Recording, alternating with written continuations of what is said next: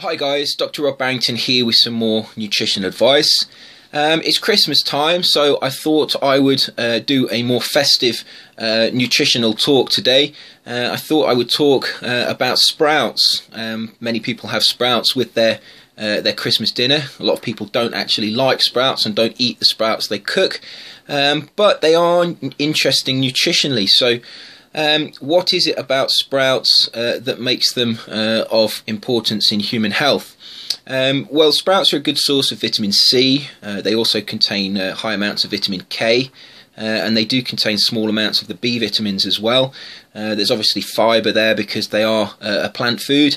Um, but really, the interesting thing about sprouts is the phytochemicals that they contain. Um, sprouts uh, contain uh, a chemical, uh, a group of chemicals called the glucosinolates. Uh, and these are of interest to um, uh, nutritionists at the moment because they, they appear to have uh, anti cancer effects in humans. Now, it's not the glucosinolates themselves uh, that are uh, the cause of this effect. Uh, the glucosinolates have to be converted into another group of chemicals called isothiocyanates.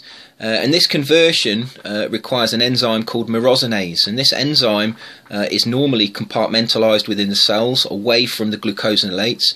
Uh, and when we chew or cook the sprouts, um, these compartments are broken open. The, the myrosinase is released into the cell, it comes into contact with the glucosinolates uh, and it, uh, it cleaves bonds within the glucosinolates to form uh, isothiocyanates. Now, isothiocyanates uh, are bioavailable in humans. That means when we eat the sprouts, we absorb the isothiocyanates, um, and they appear to have uh, anti cancer effects. Uh, in particular, uh, they've been researched uh, with respect to their effects on the phase 1 and phase 2 detoxification enzyme systems. Now, normally, when a, a chemical uh, is taken into the body, um, it, it, might pass through the phase one detoxification system. Um, sometimes this causes the chemical to become more carcinogenic uh, than it was originally. Um, so the phase one detoxification system is actually an activating step uh, whereby some chemicals are, are actually uh, produced that are pro-carcinogenic.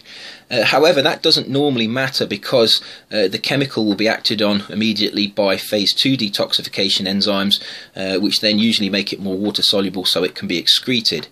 Um, however, uh, if you have uh, too many uh, of these chemicals in your body, they can overwhelm uh, the, the, the phase two detoxification system, and they uh, what happens is they tend to these pro carcinogenic uh, chemicals that have been through the phase one detoxification enzymes they build up in the body, and this can be a cause of the initiation of of cancer.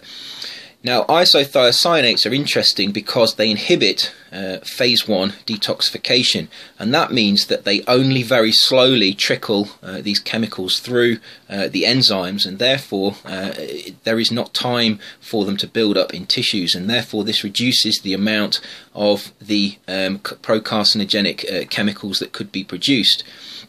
In addition, the isothiocyanates may also speed up the phase 2 detoxification enzymes, so that also will reduce the amount of these procarcinogenic chemicals uh, in the cells.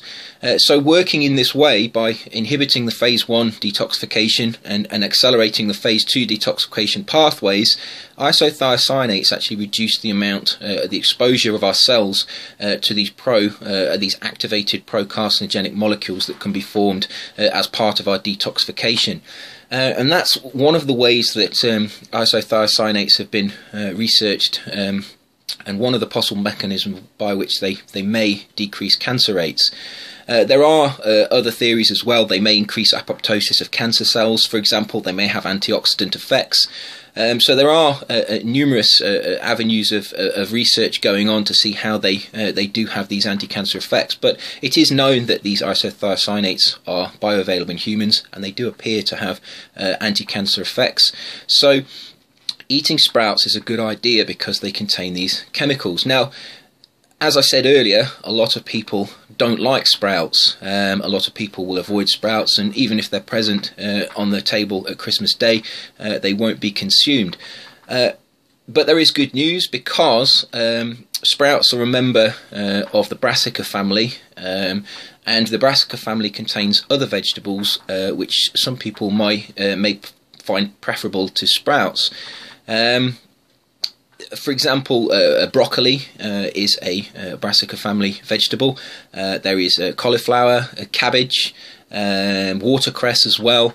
Um, and these other vegetables also contain glucosinolates. Um, so uh, there are a range of different glucosinolates. There are about 15 uh, that have been found to be important in human nutrition, although there are hundreds that are actually known. Only about 15 are found uh, in the foods that we eat. Uh, and they all tend to have uh, similar effects in the body. Uh, and they can be found in a range of uh, brassica family uh, vegetables. Now, the brassica family vegetables, another name for them is the cruciferous vegetables.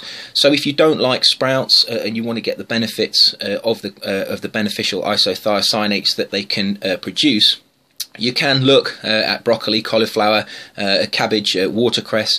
There are a range of, of, of these other uh, uh, vegetables within this family, and they all have these glucosinolates in them. Now, um, the way, the thing that bring uh, the, the common thing that you find in these vegetables, which is why a lot of people don't like eating them, is that they're actually quite bitter.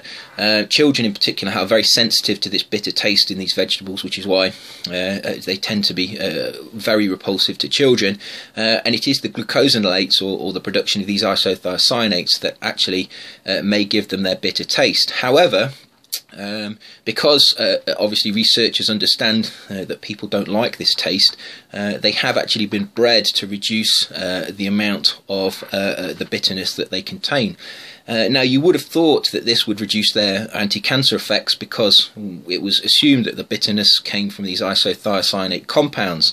However, the uh, the low bitter uh, v- uh, variants of these uh, of these brassica family uh, vegetables do still appear to retain their anti-cancer effects.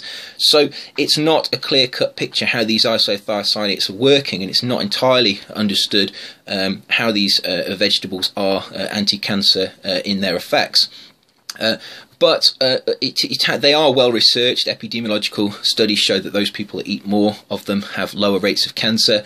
Uh, cell culture studies and animal studies have been done um, to show that they do have uh, anti-cancer effects in cells. Uh, and so human studies have been done to show that they are absorbed uh, and they do appear to affect uh, enzyme detoxification. So if you don't like sprouts, they're on the table. have a look at the broccoli and the cauliflower instead. there's cabbage as well. and enjoy your cruciferous cruciferous vegetables because uh, they're the only uh, vegetables that do contain these glucosinates, uh, and they have some very unique uh, nutritional properties which make them uh, they should be incorporated as part of a high quality diet, and they make them very valuable in human nutrition.